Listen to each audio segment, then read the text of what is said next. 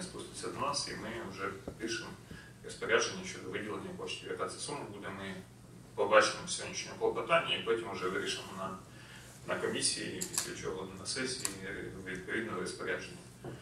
Тому, будь ласка, водоканал, е, водоканал обленерго, прокоментуйте, якщо у вас є.